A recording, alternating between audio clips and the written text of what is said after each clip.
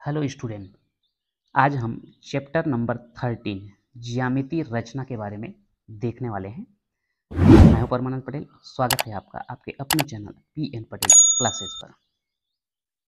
तो चर्चा करते हैं इसमें ज्यामिति रचना में जो है कितने प्रश्न आते हैं, कितने अंक के आते हैं। तो इस चैप्टर से जो है पाँच अंक का प्रश्न पूछा जाता है। इसमें तीन टाइप के प्रश्न बनते हैं। परिगत वृत्त की रचना। दूसरा है अंतःवृत्त की रचना। और तीसरा है त्रिभुज की रचना, या फिर बोल सकते हैं त्रिभुज के आनुपातिक। त्रिभुज की रचना। अब ये तीन प्रश्न में जो है, चूँकि ये पाँच अंक वाला प्रश्न है तो ऑप्शनल रहेगा। इन दोनों में से कोई एक प्रश्न पूछा जाएगा, या तो परिगत वृत्त की रचना अथवा करके अंतःवृत्त की रचना। या फिर सेकेंड चांस बनता है, अंतःवृत्त की रचना अथवा करके त्रिभुज के अनुपातिक त्रिभुज की रचना। या ये हो सकता है फ़र्स्ट और थर्ड में से कोई। तो इसमें जो है आपका परिगत वृत्त की रचना और अंतःवृत्त की रचना। यदि आप ये दोनों जो है कंप्लीट कर लेते हैं तो निश्चित रूप से आपका ये पाँच अंक का प्रश्न जो है बन जाता है। क्योंकि इन दोनों में से देगा तो आपको दोनों पता रहेगा, या इन दोनों में से देता है तो आप ये बना सकते हैं, या इन दोनों में से देगा तो या आप फ़र्स्ट वाले को बना सकते हैं। तो इस प्रकार से इस चैप्टर में से हमेशा पाँच अंक का प्रश्न पूछा गया है। और यदि ये दोनों क्वेश्चन कर लेते हैं, परिगत वृत्त की रचना या फिर अंतःवृत्त की रचना तो कन्फर्म है आज को जो है इसमें से, इस चैप्टर में से पाँच अंक पूरे में पूरे आपको मिल जाएँगे। तो सबसे पहले हम देखेंगे परिगत वृत्त की रचना कैसे किया जाता है। आइए देखते हैं।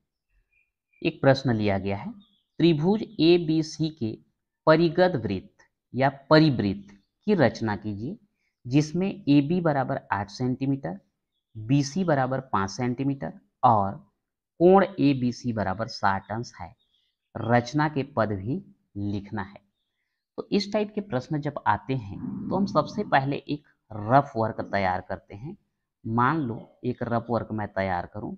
ये जो है आपका, मान लो त्रिभुज ए बी सी है। तो इस कंडीशन में होगा क्या? ए बी बराबर आठ सेंटीमीटर। ये अपना आठ सेंटीमीटर रहेगा। बी सी पाँच सेंटीमीटर मतलब ये नीचे वाली भुजा, पाँच सेंटीमीटर।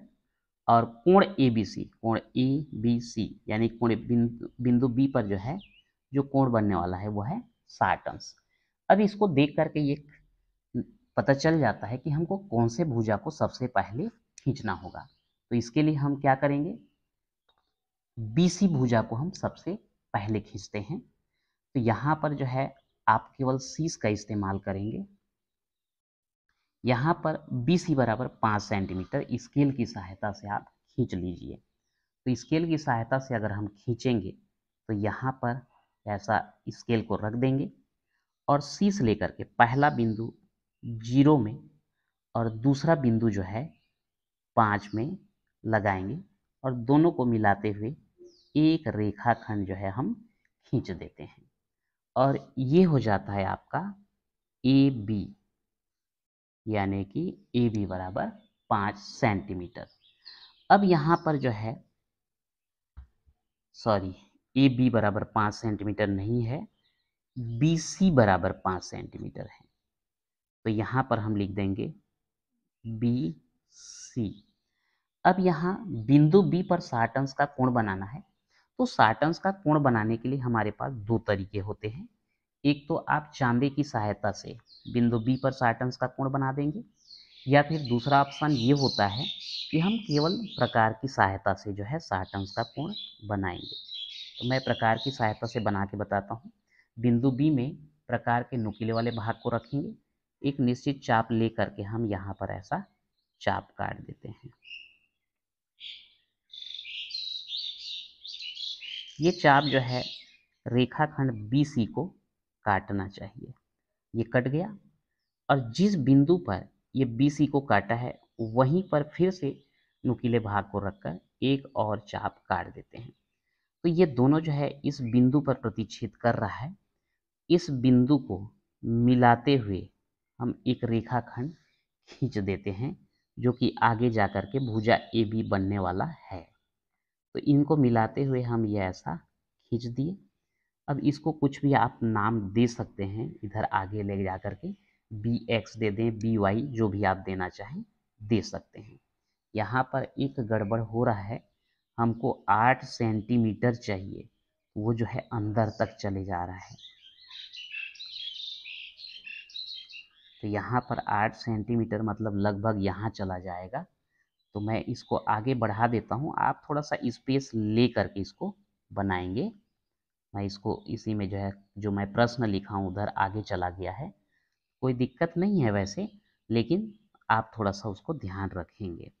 यहाँ पे आठ में रखेंगे, यहाँ पर ज़ीरो में, और एक चाप काट देते हैं, बिंदु बी से लेकर के। तो ये यहाँ पर हमको मिलता है, और यही बिंदु आपका बन जाता है कौन सा? बिंदु ए। इसको आप एक्स नाम दे दीजिए। अब ये आपका ए बी हो गया आठ बी सी हो गया पाँच। अब यहाँ पर ए और सी को जो है आप मिला दीजिए। ये बन गया आपका त्रिभुज ए बी सी अब इसके बाद हमको परिगत वृत्त की रचना करना है। तो परिगत परिगत वृत्त की रचना के लिए हम करेंगे क्या? इसमें से कोई भी दो भुजा का हम खींच लेते हैं, लंब समद्विभाजक लंब समद्विभाजक कैसे खींचा जाता है? अगर हम एसी का लंब समद्विभाजक खींचना चाहते हैं तो उस कंडीशन में एसी के आधा से अधिक, यह हो गया लगभग आधा आधा से अधिक हमको फैला लेना है। और एसी के दोनों साइड एसी के इधर भी और एसी के उधर भी, दो चाप काट लेते हैं। जैसे कि ये चाप हो गया इधर एक चाप हो गया। ठीक वैसे ही इसको हम ए में रखेंगे और ए में रख करके भी दो चाप आपको लेना है, जो पूर्व चाप को कहीं ना कहीं पर प्रतिच्छेद करना चाहिए। ये देखिए, इधर से लेकर के ये चाप हमने दो चाप काटा और इधर सी से लेकर के भी हमने दो चाप काटा। तो ये पॉइंट और ये पॉइंट, ये दोनों को जो है हम स्केल की सहायता से मिला देंगे। जब स्केल की सहायता से मिलाओगे तो जो भी प्राप्त होगा, वही हमारा लंब समद्विभाजक कहलाता है। तो ऐसे करके हम यहाँ पर जो है, इन दोनों पॉइंट को मिलाते हुए ये रेखाखंड खींच दिए। इसी प्रकार, अगर हम सी का लंब समद्विभाजक खींचना चाहें तो इसमें भी वही करना पड़ेगा। सी के आधा से अधिक हमको फैला लेना है। ये लगभग आधा होगा। ये आधा से हमको अधिक फैलाना है। आधा से अधिक फैलाने के बाद एक चाप इधर और एक चाप जो है, इस तरफ़ हमको काटना है। अब इसको बी में रख दीजिए। बी में रखने के बाद भी एक चाप ऊपर की तरफ़ और एक चाप नीचे की तरफ़ काट देते हैं। अब ये जो दोनों पॉइंट है, ये वाला पॉइंट और ये वाला पॉइंट ये दोनों को भी हम स्केल की सहायता से मिला देते हैं और ये दोनों लंब समद्विभाजक एक दूसरे को कहीं पर काटेंगे। फ़िलहाल देखें तो नहीं काट रहे हैं, कोई दिक्कत नहीं, इसको आप आगे बढ़ा दीजिए। तो ये जो पॉइंट हमको मिला, दोनों लंब समद्विभाजक एक दूसरे को काट रहे हैं, इसको हम नाम दे देते हैं ओ और इसी को हम मानने वाले हैं केंद्र। अब इसको केंद्र मानेंगे ओ को और ओ ए को त्रिज्या ले लें या फिर ओ बी को त्रिज्या ले लें, या फिर ओ सी को त्रिज्या ले लें। और तीनों को मिलाते हुए एक वृत्त की रचना कर दें, जो तीनों बिंदुओं से होकर के गुजरेगा। यहाँ पर जो है, मेरा प्रकार थोड़ा सा गड़बड़ है, इसलिए ये पॉइंट थोड़ा आगे निकल गया है। एक्चुअल में ये एग्जैक्ट वहीं पर जो है आना चाहिए। तो इस प्रकार से एक आइडिया के लिए मैं बता रहा था आपको कि ये आपका परिगत वृत्त जो है बन जाता है।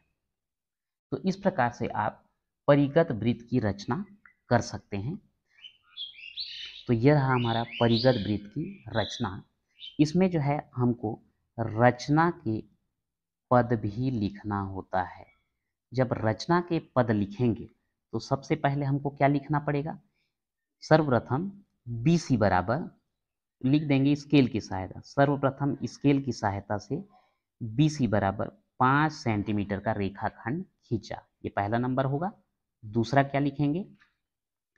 बिंदु बी पर प्रकार की सहायता से 60 अंश का कोण बनाया। तीसरे नंबर में हम यहाँ पर लिखेंगे बिंदु बी को केंद्र मानकर तथा 8 सेंटीमीटर त्रिज्या लेकर एक चाप काटा, जो कि बी एक्स को बिंदु ए पर प्रतिच्छेद करता है। बिंदु ए को सी से मिलाया, इस प्रकार त्रिभुज ए बी सी प्राप्त हुआ। अगला जो हम क्रम डालेंगे, वहाँ पर लिखेंगे, प्रकार की सहायता से ए सी का लंब समद्विभाजक खींचा अगला पॉइंट होगा, प्रकार की सहायता से बी सी का लंब विभाजक खींचा।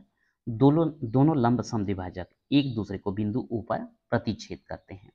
अब बिंदु ओ को केंद्र मानकर तथा ओ ए या ओ बी या ओ सी को त्रिज्या मानकर एक वृत्त की रचना किया, जो त्रिभुज के तीनों बिंदुओं से होकर के गुजरता है। इस प्रकार अभिष्ट परिगत वृत्त हमें प्राप्त हुआ। ऐसा जो है आपको लिखना है। तो ये हो गया आपका परिगत वृत्त की रचना।